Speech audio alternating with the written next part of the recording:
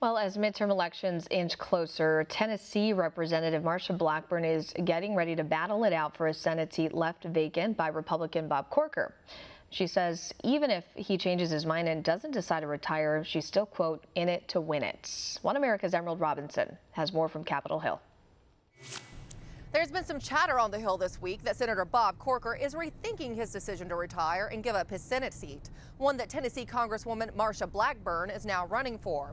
But Representative Blackburn says either way, she's committed to this race and she's in it to win it. I've got a race to run. I am committed to it. I'm a pretty good decision maker.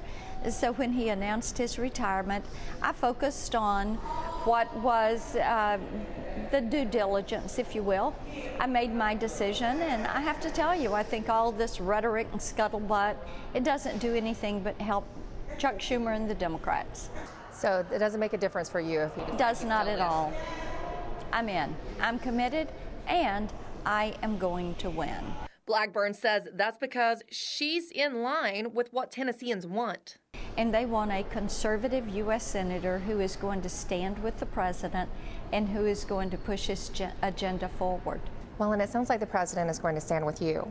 You talked with him on the phone. He gave you encouragement. Can you tell us exactly what he said to you? Uh, you know, that was a conversation between the two of us. But I'm always pleased when the president uh, engages. That's where Senator Corker might have a problem after having publicly feuded with the president. If he did decide to enter the race to retain his seat in a state that the president and his policies are very popular. If you uh, talk to people in Tennessee, a majority uh, are for the president. I think the polling numbers show that his approval rating with general election voters is uh, in the high 60s people like the policies of President Donald Trump. Policies like tax reform, continuing to push back against Obamacare, and securing the southern border by building a wall all of which Representative Blackburn says she supported in the House and will continue to support in the Senate given the opportunity.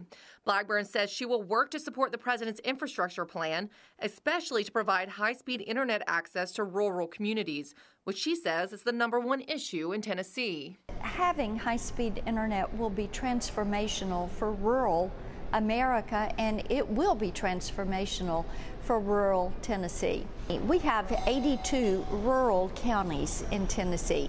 You're not going to get jobs growth there unless you have high speed internet. Representative Blackburn said that based on what she is hearing from her fellow Tennesseans about the performance of tax reform and other policies, she's not concerned about the blue wave many outlets are predicting for the 2018 midterms.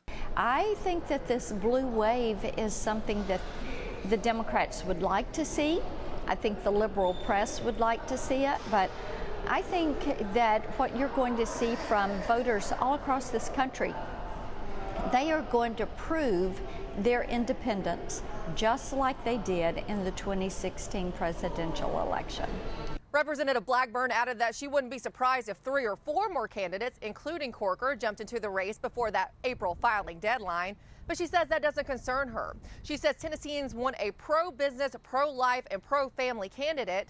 And she says that's exactly what she is. In Washington, Emerald Robinson, One America News. We can use your help. Call your cable provider and kindly demand that One America News is added to your lineup. Call today